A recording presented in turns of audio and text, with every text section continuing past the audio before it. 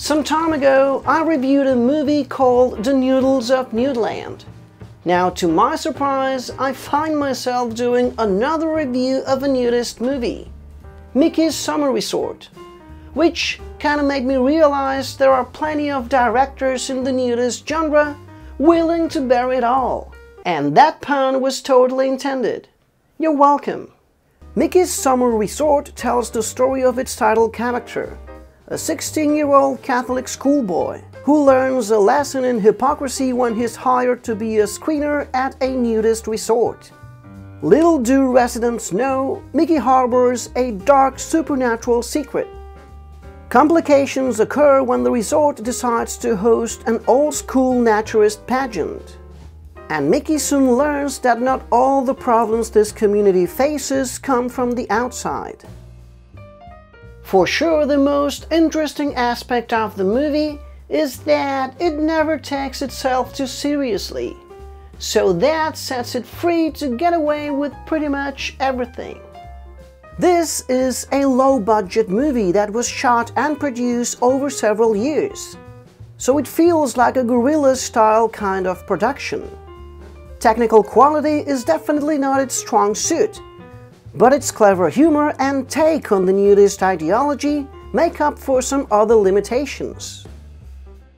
The script manages to slip in some funny meta-humor moments. You know, these situations in which the movie makes fun about itself, the genre, and the movie industry as well. A totally clever move. In spite of the nudity mentioned above, Micky's Summer Resort is, in fact, a sci-fi comedy. A story that tackles paranoia, hypocrisy, and the public perception of what nudism, nudist resorts, and the nudist community are really about. Sometimes the plot wanders off a bit. I mean, you have a love story, you have Micky's special powers, you have a beauty slash nudist pageant, you have a congressman trying to shut them down. All of these narratives feel a little inconsistent from time to time. Micky's Summer Resort may be a super low budget movie, but its heart is always in the right place. The quirky premise, the unique brand of humor, and its unorthodox approach to the subject matter turns it into an interesting and out of the ordinary entertainment. So I'm gonna give it a 7 out of 10.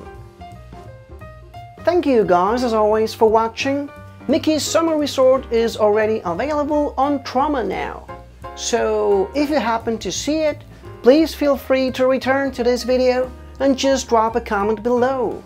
I will continue doing both English and Spanish reviews on my channel, so if you would like to subscribe, that would actually be awesome and hopefully I'll see you next time.